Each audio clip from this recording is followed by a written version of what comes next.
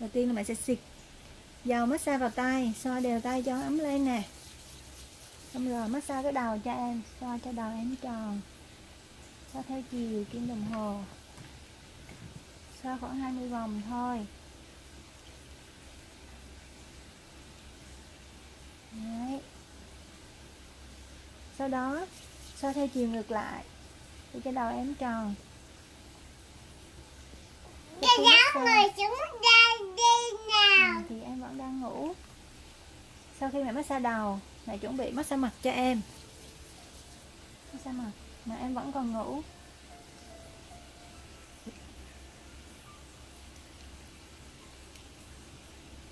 Rồi. Bây giờ tắt nước. Bao lại đi. Người mình nè. Này gấp cái tay lại nè. Mình sẽ xoa cái tay rồi sau khi massage đầu sẽ tới cái vai xoay tròn xoay tròn xoay tròn. Xoay đều xoay đều xoay đều. Sau đó mẹ sẽ massage tay cái bánh kem. Vuốt nhẹ. Và các ngón tay. Mẹ tập cái đâu. ngón út nè ngón áp út nè. Ngón giữa trỏ ngón cái để cho em phát triển sức giác nữa. rồi tay bên phải nữa. Ừ, xoa thái nữa ừ. rồi cái tay. Cái nè ngón trỏ nè giữa nè áp út nè út nè rồi. Rồi tới cái chân ha. Xịt thêm miếng dầu để cho nó trơn xoa này cái chân đấy. Kéo ra nhưng mà kéo nhẹ nhàng. Kéo phần cơ thôi không kéo phần xương. Để cho chân em thẳng. Đấy nắm chân cho em.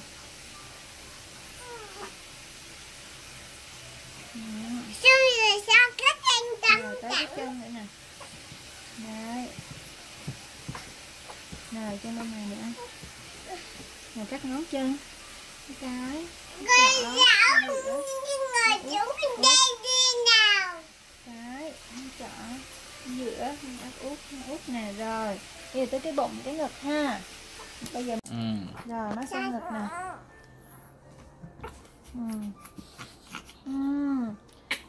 Rồi, tới lượt massage bụng là phải thêm xí dầu vô cho nó trơn xoa cái bụng cho em nha chón bao tiêu theo cho hồ bụng cho mày. ừ, xoa cho kem trước rồi xoa cho mày nữa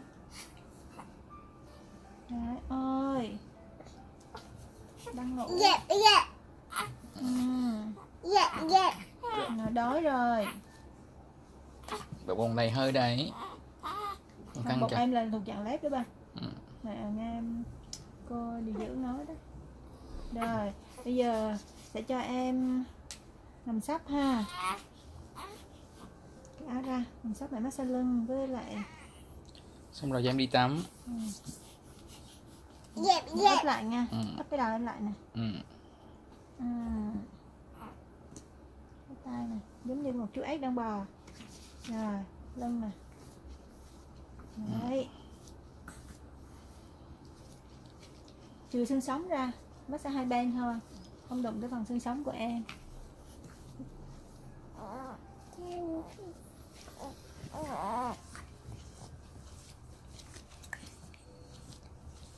khi nằm sấp là em bé sẽ dễ chịu nhé và chúng ta sẽ xoa phần này để cho Ừ, dễ- không dễ chịu. Ừ. có cái áo cắn này Dạ dạ. nè xoa chỗ này để cho em. Dạ dễ bị ị nè. Rồi bây giờ sẽ tập cho em. Em đạp tới. Đấy em đạp tới. Ừ, em tự đạp gấp cái tay gấp cái tay rồi cái tay bị gấp rồi. cái tay bị gấp hả em? Rồi đó, em đạp. Đúng rồi. Mạnh lại. Gấp rồi gấp tay phải nữa Rồi. đúng rồi. Thôi được rồi để mẹ gỡ áo ra luôn. Rồi. Rồi tắt ha. Rồi tắt ha. cái gì vậy? Dắt người chụp hình. Ôi trời ôi trời. Tới người massage theo đây. Vào tay này. Xoa ấm tay này. Ừ. sau đó nè vuốt cái đầu xuống, vuốt cho tóc nó mượt xuống, nó phải bị dựng tóc lên. Ừ.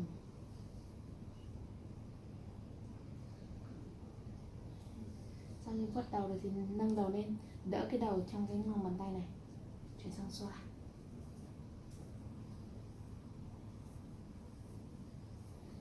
Có thể ngồi trên ghế sa lông này xong rồi đặt một cái ghế đầu nhỏ nhỏ. Nếu mà chị muốn làm ấy, nếu chị làm ấy thì đặt cái ghế đầu lên để cái chân của chị cao lên một tẹo thì đỡ phải chống như này. Ừ. tại vì như em chống không sao nhưng chị mới sinh thì không nên chống xong rồi xoa ngược lại. Đầu bạn này thì bên này nó hơi thấp hơn bên này một tẹo. Thì khi mà xoa ấy, thì cái phía ngược này này sẽ xoa nhiều hơn một tí. Tại vì nếu mà xoa thì sẽ thấy cái bên này nó hơi móp hơn một tí nhưng mà không nhiều. Thực ra cũng không có ảnh hưởng quá. Nhiều bé nó nó móp hơn nhiều thì mới phải xoa. Thì mình sẽ xoay cái chiều này ngược lại nhiều hơn một tí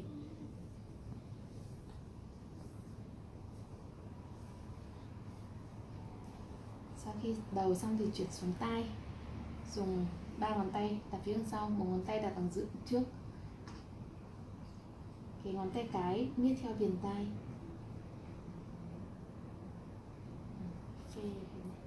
ba ngón tay đằng sau chạm chạm chạm chạm chạm chạm chạm chạm nhé sau khi tay xong thì chuyển sang mặt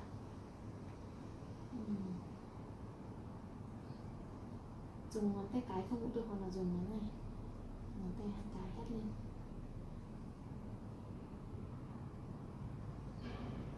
Trong trường hợp nếu như em bé mà lên mụn sữa mà mặt có nhiều mụn ấy thì không có dùng oil nữa không có dùng cái baby oil nữa tại vì nó sẽ làm ừ, nó, nó làm cho da mặt nó rít hơn. Nó sẽ nổi thêm rồi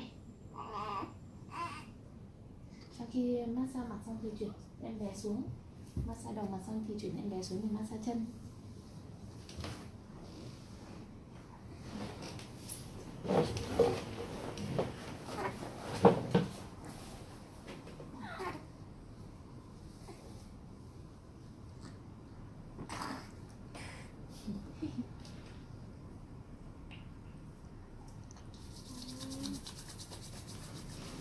đối với massage chân ấy thì massage từ trên đùi xuống dưới chân bàn chân.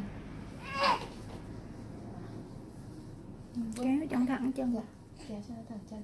Nhưng mà không có kéo mạnh mà giống như kiểu massage này chủ yếu là tập trung vào phần cơ chứ không tập trung vào phần xương. À, Ừ. cơ thôi Vâng. không có đúng tới xương. Không có đụng tới xương nên là chỉ là mát ơ giống như kiểu là uh, kéo kéo kéo vậy thôi. Chứ còn hồi xương này tự điều chỉnh đúng đúng rồi khi nào em bé biết đi ấy, thì cái phần xương cong này nó sẽ tự điều chỉnh lại. Ừ. với lại khi em bé lớn lên cái xương nó phát triển. Ở trong bụng do cái tư thế nằm của nó nên cái xương nó bị cong như này. Hơi cong một tí. Nhưng mà khi mà em bé đang ngoài chân tay nó thoải mái cái xương nó sẽ phát triển thì nó sẽ thẳng lại. Khoảng tập 20 lần đi. Sau sau khi mà kéo từ trên đùi xuống dưới chân xong thì chuyển sang đến bàn chân. Vuốt theo chiều bàn chân nữa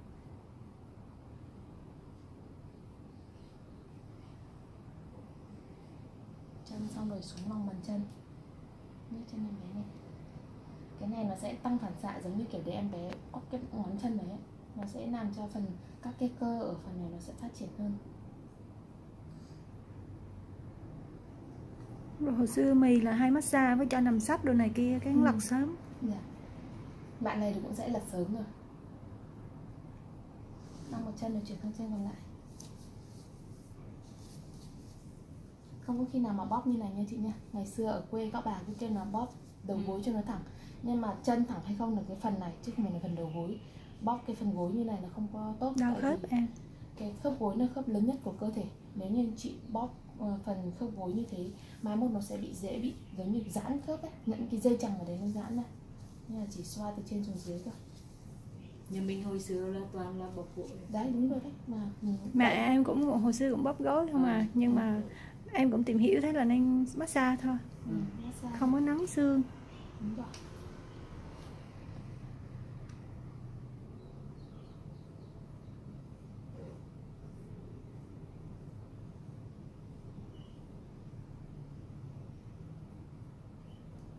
Cho em bữa nay hiền ghê.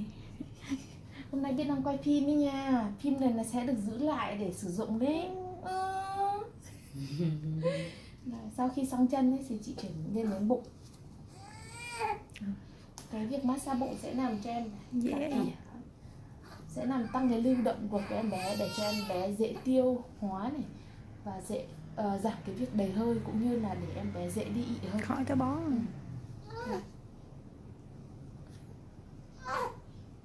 Chị có thể quấn áo vào bên trong đừng ngược áo ra ngoài ngược áo ra ngoài là sẽ dễ bị bung Ừ.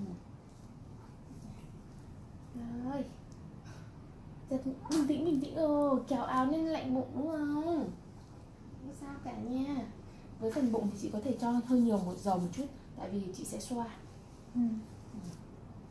thì xoa đối với xoa bụng thì chị sẽ xoa theo chiều kim đồng hồ Ừ. ui đau thương ừ. Nếu em bé khóc thì cứ bình tĩnh là Ừ. ừ. miễn sao nó không khóc quá là được ạ vì tự dưng có người động chạm vào người mình mình Ừ, sẽ đúng cảm giác không thoải mái. Nó chưa biết tận hưởng như mình. Giả sử như em bé nó ấy quá thì chị đá luôn. Chớ Ê. chớ chớ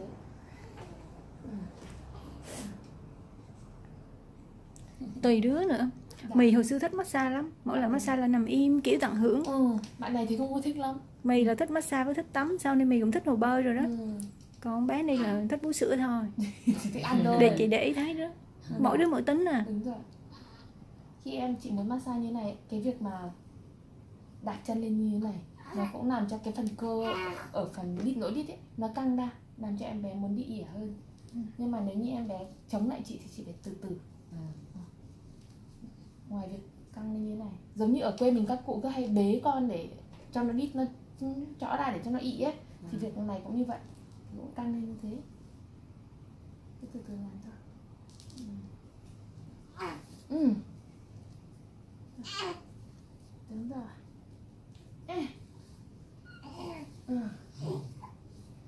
massage bụng thì chủ yếu nó có bốn động tác một là động tác xoa bụng tròn như này và hai cái tay của mình xoa như này hai ngón tay của mình xoa như này hoặc là cái, các cái tay của mình chạm chạm chạm vào cơ bụng để cho nó nhột nhột nhột nó sẽ co co căng cơ bụng với lại là căng hai cái đùi lên cho cái đít nó chỏng ra đúng rồi Ui trời, đá Ừ. quẩy lắm.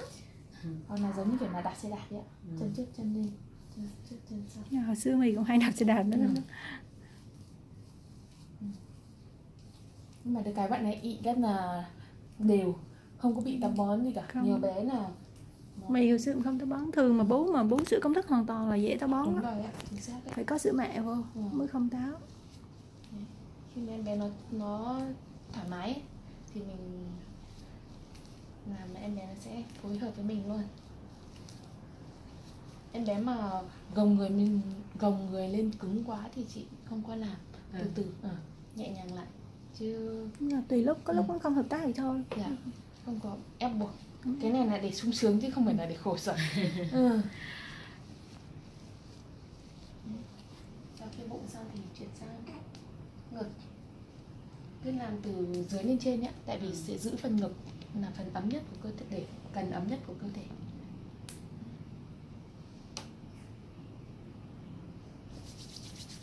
Đối với ngực ấy thì chủ yếu động tác massage là chéo. Ừ. cái việc massage ngực này nó sẽ làm tăng các cái việc ừ, hít thở cho em bé. Với lại nó làm tăng những cái cơ ấy vùng cơ ở phần ngực cho em bé với con nít mình đụng chạm nhiều là nó phát triển xúc giác đúng rồi ạ. Tốt hơn cho nó cầm nắm rồi nữa. Chính xác luôn luôn xong rồi hai cái tay của chị đặt vào đằng sau này này cái phần này. Nhẹ thôi không cần mạnh đâu. Cái chủ yếu là phần cơ thôi để mình tăng cái việc ờ, cảm nhận cơ của em bé thôi. Chứ còn không có phải thằng nào mình ấn vào xương. Ừ.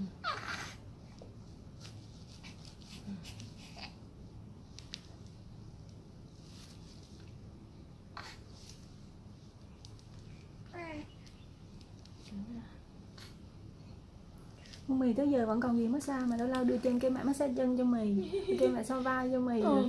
đưa lưng ra cho mẹ xoa sau khi là bụng ngực xong rồi vai xong rồi thì mình mới tháo áo đấy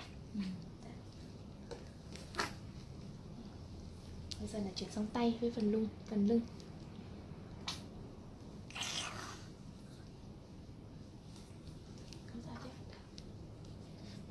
Cái từ từ. Nhảy con nhảy tay thì cũng như thế massage từ trên xuống dưới. Ừ. đạp đạp Thế lại cũng nằm các ngón tay. dạ.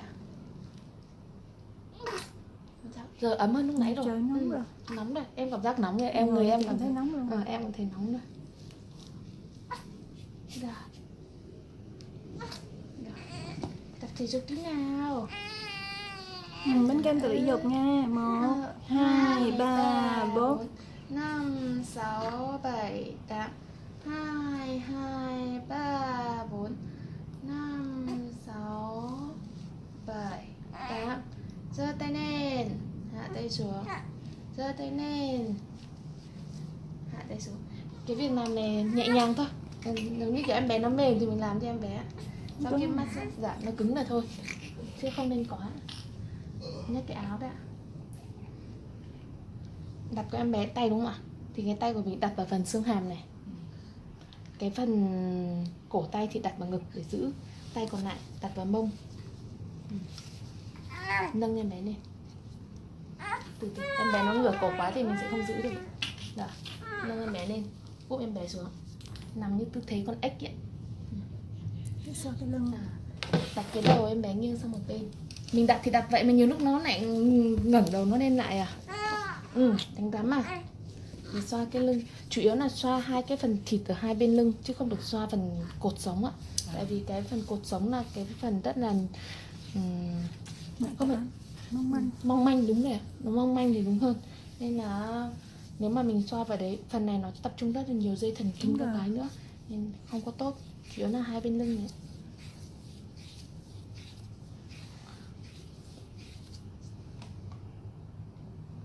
chị thấy không được trơn lắm thì chị cho thêm một ít dầu nữa.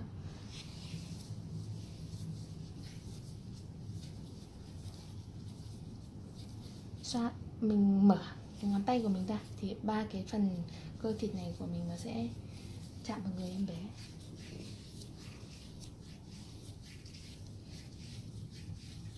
Hôm nay tự dưng lại tận hưởng từ lúc với lại ngày đi làm bú no mà lại không có quá no. Dạ đúng rồi. Bú được cỡ tiếng rưỡi rồi dễ chịu. Sau khi dọc hai cái thân lưng xuống thì bắt đầu là chuyển sang phần vai. Nhẹ nhàng cái phần cơ này thôi ạ. Không có cần xương gì cả không có giống như người lớn. Tại vì khi em bé nó nằm úp thì cái phần xương hai cái xương chép này, xương xương bánh chè à, xương không phải xương bánh chè là xương vai ấy nó sẽ hạ xuống thì cái phần này cơ nó sẽ lên xương bánh chè là dưới đầu gối xương bánh chè này, chè xương vai. Xương chép này hình như là xương ở mình xương chép của con lợn là xương ở ở trên không nhớ là xương xương vai trên vai là trên trên đùi xương đùi nữa trên mông nữa trên mông này thì gọi là xương chậu.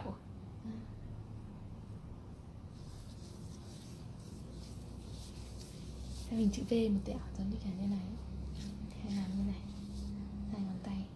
ra và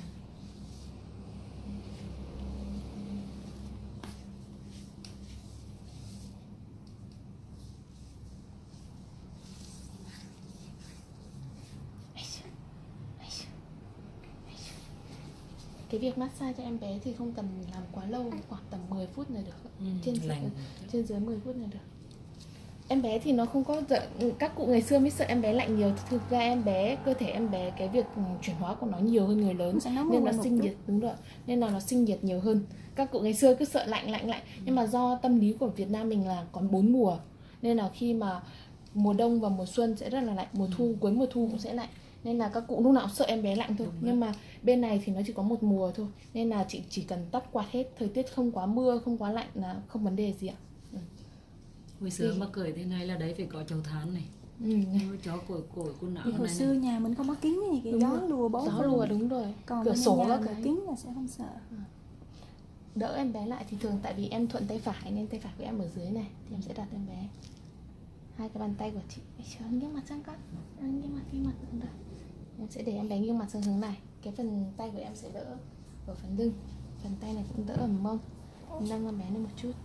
Nó dãy đấy bé ra ôi ra thương thương trương ô cho thương xong rồi xong rồi con giờ chuẩn bị đi tắm con hề mình tắm. À bây giờ tắm. Thế à mới sao đó ờ anh tắm bùm bùm bùm lên đấy. À